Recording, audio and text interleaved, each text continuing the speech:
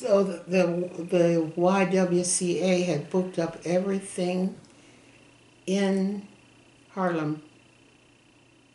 And uh, they had nothing for me.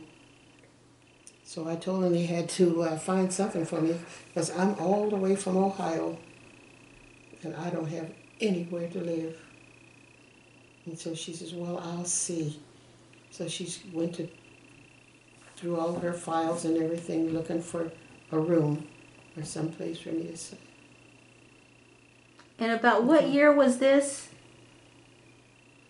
Mm, about 51. All right. So, what did you think about Harlem? We've all heard about the Harlem Renaissance, and So she what said, what did you think about Harlem? So she finally found me a room, and uh, that room was six dollars a week, and I only had about mm, 10, 15 or 10, 10 or fifteen dollars, so I had to eat, and I was thinking, uh, how how much am I going? I don't know how much I was going to pay for the Y, but I knew it wasn't much more than five dollars a week for rent. And um, finally, she found a room and she said, uh, I have a place. She says, but uh, this woman is very particular and we don't like to send nobody to her house. And so, uh, anyway, I told her I'll go talk to her. And then the guy that I was with, we started calling each other cousin, last name, uh, because of the last name. And so he had my one piece of luggage, didn't have any clothes. And uh, he walked me only two blocks from the Y and I can remember the Y was between Seventh Avenue and Eighth Avenue.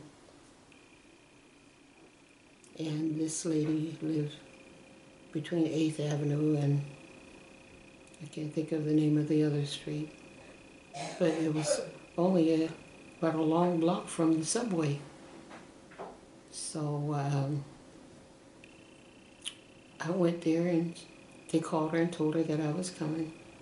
He carried my luggage because he, this is another thing, I didn't have any money. But when he picked me up for the, the bus station, he called a cab. He, he hailed a cab and took me up to the Y. So that was his expense. And so I didn't have to pay that. Uh, when we got there, this lady had a smile, come on in and whatnot. This is still in Harlem? This was right down from the YW. Okay. So she opened her door with a smile, and uh, we talked a few minutes, and she showed me the room. Went up to a third floor,